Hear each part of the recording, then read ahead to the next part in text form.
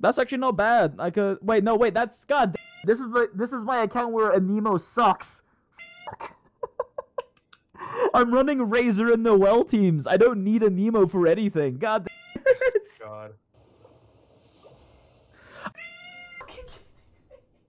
Hey everyone, it's Jinx, and I guess I'm starting to come to terms with the fact that I'm a Genshin math guy now. So in yesterday's stream where he went over a giant treasure trove of data and testing from the R Keqing mains Discord server library, by the way, link to them in the description if you want to come check out their library or come hang out, lots of really cool people over there. But during the course of the stream, I realized something, which is that it is apparently not nearly as common knowledge how elemental mastery and how elemental reactions work in this game. Now, understanding how this works is fundamental to how you build your team comps and how you build your characters and where you invest your resources. In fact, I would argue understanding the fundamentals of elemental reactions is more important than understanding how the math of attack percentage and such in the previous video works. Now, to keep this video short and easier to understand, we are only going to be covering the basics as well as just the core mechanics and why it's important to understand these things. Otherwise, for things like the in-depth math analyses of comparing reaction builds to mono-element builds, to Venerer or Petra support builds, etc., we'll cover that in a future video.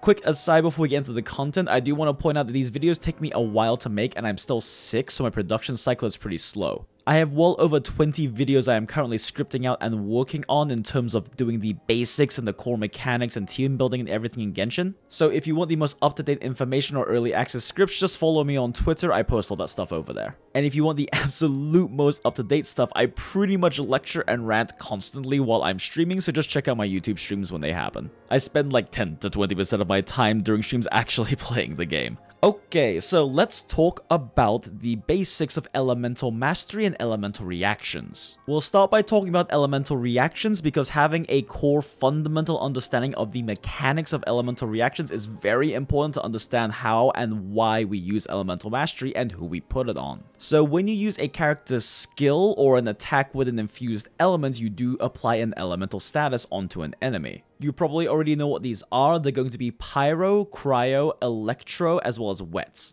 Now, this game does run a 7 elemental system, meaning there are 3 more, which are Geo, Anemo, and Dendro, but we'll talk about those in a bit because they function differently from the first 4. So these first 4 elements, whenever you hit something with an elemental attack of that element, you apply the status. This will put an icon of that element over the enemy's head. We call this the aura element, essentially the first element on an enemy. Now, putting an aura element on an enemy has very minor effects, like for example, cryo aura will make them slightly slower, like a tiny reduction in movement speed, but these are so minor I don't really pay attention to them. Now, this aura element does have what we call an elemental gauge. In other words, it does have a certain amount that goes down over time and goes down when certain reactions trigger with it. But explaining exactly how the elemental gauge works and what things cause what to happen is quite a long topic, so probably future video. Note that some enemies do have innate aura elements, like ice slimes are always going to have the cryo aura, as well as fire slimes fire aura, etc. When you burn this aura element on the enemy, they tend to refresh it every half a second to a second or so. I haven't actually measured it yet. But how do we burn this aura? Well, when you add a second element on top of that, again through any kind of attack or skill that deals that element, you create a reaction that creates a specific effect. We call this second element the trigger element, and this is a very important distinction to remember, which we'll explain in just a second. And remember how I mentioned that Geo and Anemo are different from the other four? Well, that's because they can only ever be the trigger elements. And in the current patch, we can't actually use Dendro abilities, so the only things that exist are things with the Dendro aura in the game, like wooden shields. So here in the background footage, you can see that the enemies all have an innate cryo aura element on. So when I hit them with the trigger element of fire, it creates a reaction called melt, which essentially doubles the damage of the hit that triggers the reaction. There are two different kinds of elemental reactions. There are what we call transformative reactions, and then what I personally call amping reactions.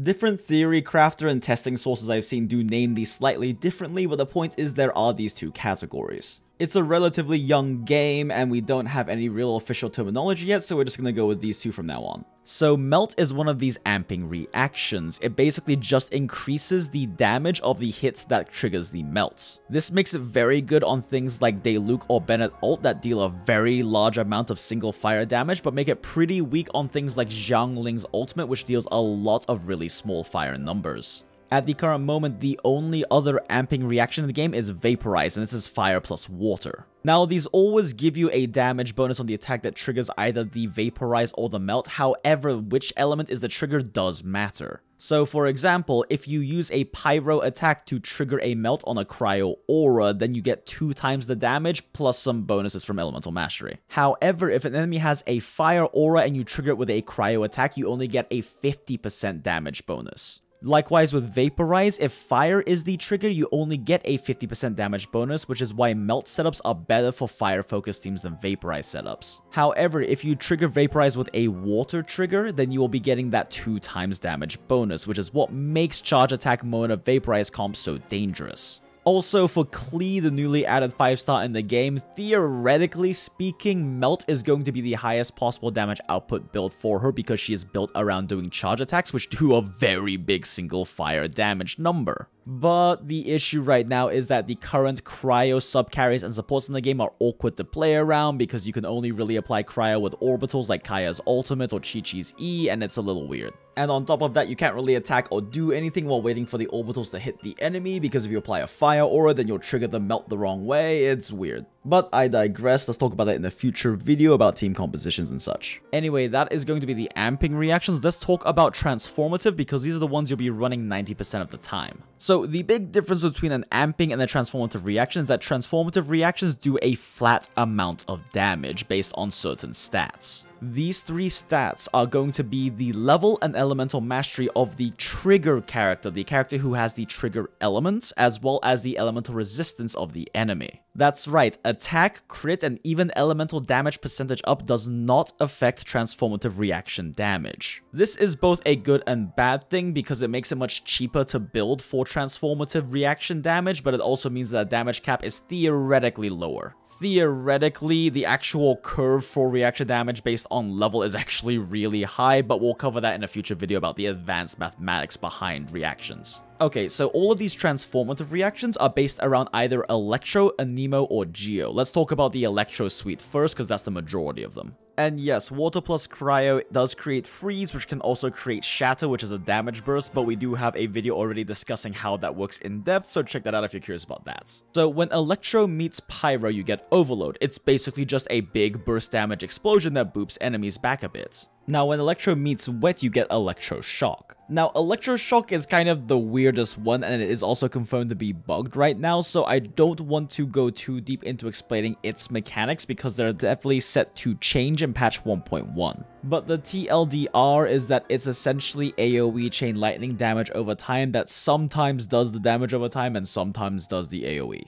When you get Ice plus Electro, you get Superconductor. This is generally considered the lowest damage one out of all of them. However, it does give you the Superconductor debuff. It also does have this really weird mechanic where it does a little bit more damage if enemies are clustered together when you trigger Superconductor, but again, the thing we care about is the debuff. This debuff reduces the physical resistance of an enemy by 50%, which is a lot. This is why in my previous video talking about cryo builds, cryo reactions, and talking about using Razor or any other physical carry, it's basically mandatory you bring Superconductor into your team a 50% physical resistance reduction is much bigger physical white damage numbers. In fact, I'm currently working on a video about the strongest possible free-to-play team, and the best carry for that is Xiangling because the craftable Crescent Pike amps her physical damage to a ridiculously high degree. Which means even though Xiangling is technically a fire character, you focus on the Ice and Electro Superconductor debuff on your team comp.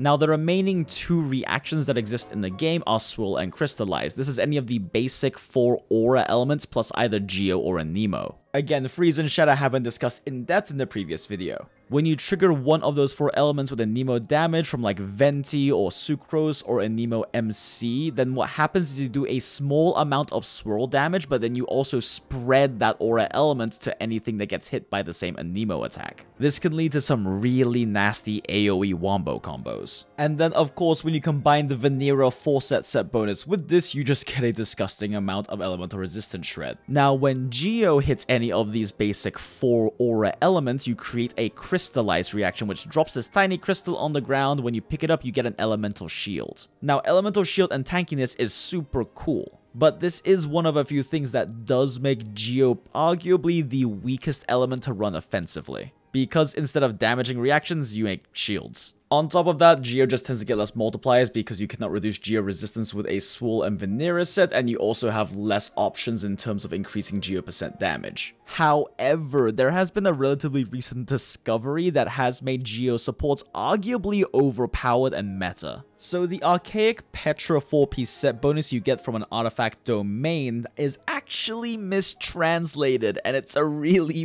bad mistranslation. Basically, what it says is that when a character with this picks up the crystallize of a certain element, they get 35% elemental resistance for 10 seconds for the whole team. After very quote-unquote rigorous testing, it's actually supposed to be 35% elemental damage. This is a huge damage buff for super cheap just by running a Geo support with this set bonus on them. The theory crafting community is currently looking into how good this really is and how powerful this can be for team comps, but yeah, that's the thing. Okay, so let's finish up talking about all of these different transformative reactions and how they compare to each other. So again, these transformative reactions deal a set amount of damage based on the triggering element's character's level, elemental mastery, and then also the elemental resistance of the enemy. This does mean that an Anemo support with Veritas and Venerer can in fact increase the damage of your reactions of the correct element type. However, in terms of supporting cast, that's pretty much the only thing that does. So this does mean that the Archaic Petra 35% elemental damage bonus does not apply to transformative reactions. Neither do elemental percent cups or elemental percent passives like Lion's Roar.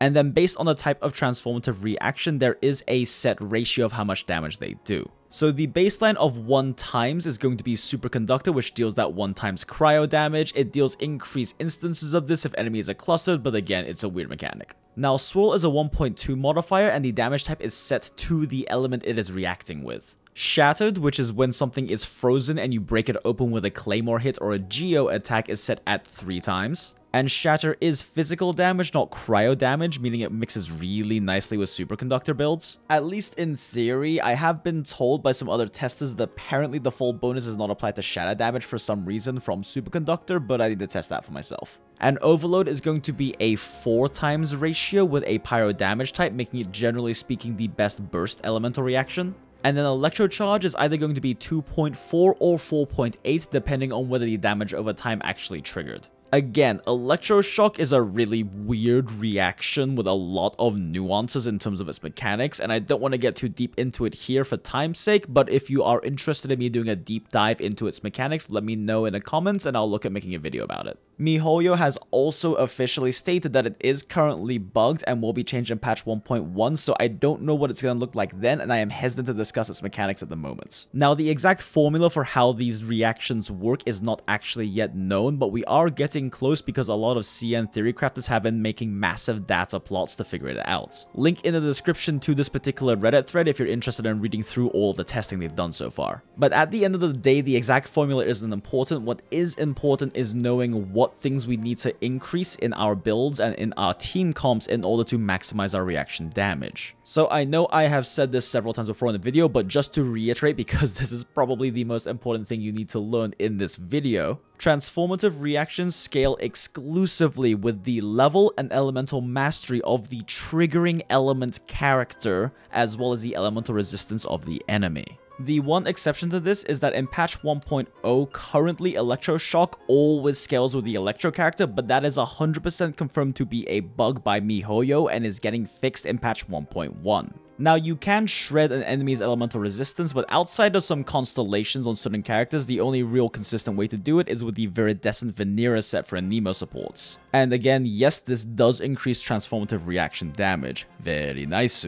And this is where we come to the part where we discuss elemental mastery and how it actually works and why we should care about it and who we should put it on. So the rule of thumb for this is that any elemental mastery you stack and any levels you stack for the sake of reactions have to be on your trigger character, not your aura character. Now, there is no 100% answer to is this character a trigger or a character because it depends on your team comp and how you play and how you time your abilities and elemental applications. But the general rule of thumb is that the character that applies their element the most frequently and quickest is going to be the aura character most of the time. This is why, as a general rule, Keqing is a terrible character to put Elemental Mastery on because she is almost always the aura application, not the trigger. Again, Electroshock currently in patch 1.0 is bugged, so her Elemental Mastery is what the Electroshock scales with, but that is getting fixed, so don't build for that. A well-played Keqing has arguably the fastest elemental application in the entire game. Now, I did recently read about some testing where Xingqiu specifically with Keqing does actually make Keqing the trigger most of the time because of timing differences, but we'll get into that in a future video. Electroshock is slated to change, so I'm just not comfortable making any recommendations on that until we know how it's going to look in patch 1.1.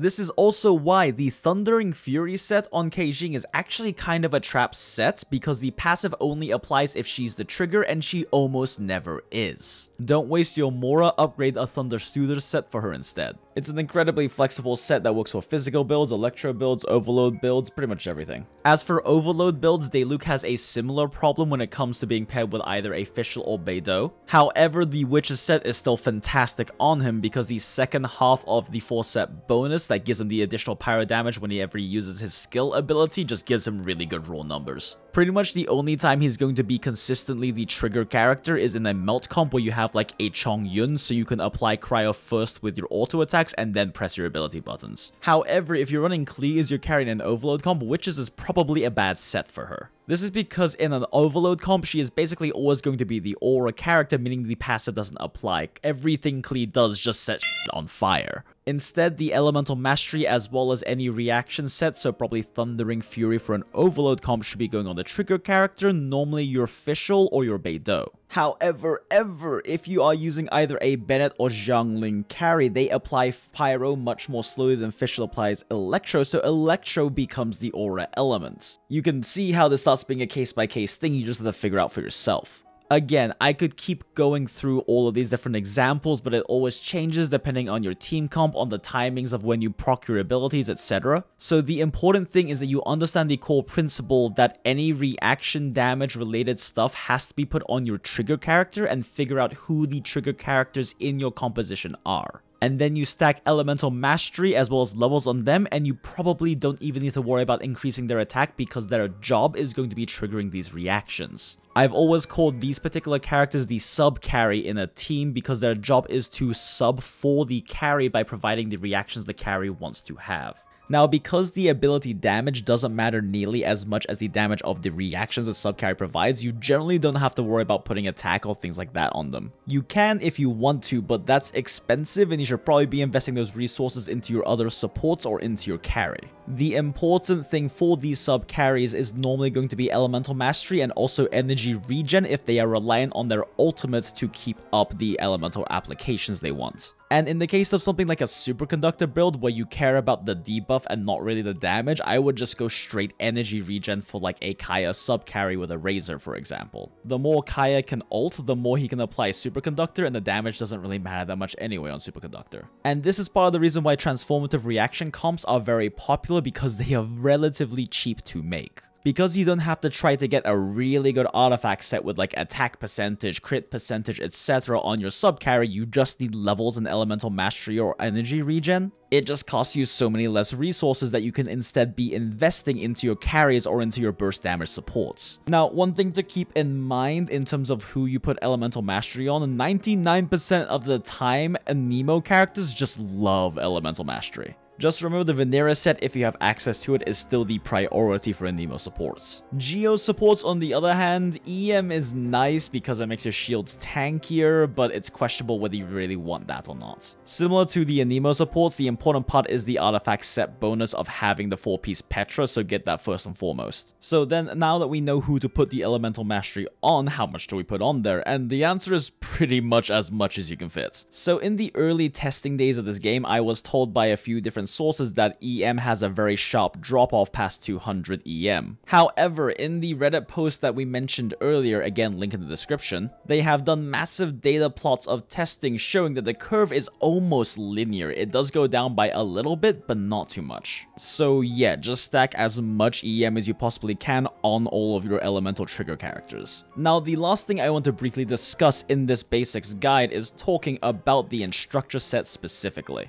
This is because early and even late game, this is a very popular set to run on all of your sub carries. But it is important to know that it is also mistranslated. So this set bonus for 4 pieces says that when we use our elemental skill, our E ability, we give 120 elemental mastery to our entire team. This is not actually how it works. How it actually works is that when a character with instructors triggers an elemental reaction while they are on the field, they give this buff to their teammates. This does not necessarily mean you have to reuse your ability to make this work. So if Fischl pops her bird, then you switch off of her, but then you switch back to her and her bird triggers an elemental reaction, you get the bonus. Now this does not make the instructor set bad, it simply means you have to play it correctly. In other words, whenever your sub carry with instructors does pop their abilities, you have to make sure they trigger a reaction before you leave the field if you want that buff. Alright, that about does it for all the basics of elemental reaction as well as how elemental mastery works in this game. I hope you learned something new because this was meant to be kind of a crash course masterclass on all of the basics of the reaction mechanics in the game. I do have planned some future videos going more in-depth with the nuances, the mathematics, as well as also ideal team comps and how to build stuff based off of this information. So be sure to like the video and leave a comment below on any of those particular topics you'd be interested in seeing me cover. And if you have any friends who would be interested in learning how elemental reactions, the elemental system, and all of these things work, which, let's be honest, is probably most of them, then be sure to share the video with them as well. And if you have any off-stream questions for me, feel free to ping me over in our Discord server, the Mathalos Nest. I try to respond to every ping I get. And a lot of this information I did learn from the library of data from the R Keqing Mains Discord server, so link in the description to their Discord server as well. All other sources used in the video, including my own master spreadsheet that's kind of a mess but has stuff on it, is also going to be in the description. And of course, a huge thank you again to our patrons who continue to generously support us even though I took about a 4 month hiatus from making video content. Alright, that's all I have for this video. I am not planning on streaming tonight on the day this video comes out. However, I will be on stream with my channel partner Tuna Taco over at twitch.tv slash Tuna Taco. He hasn't really gotten into Genshin yet, so we're gonna start that up and I'm gonna join him for that journey. Be sure to go shoot him a follow if you want to know when we go live. Alright, so we do have lots more videos coming out. I will be streaming on YouTube kind of randomly when I feel like it, so be sure to subscribe and hit the notification bell, and that way YouTube will let you know as soon as I go live on stream on YouTube, or if any new videos come out. Neato. Happy waifu hunting whalers, we'll see you in the next one. Bye!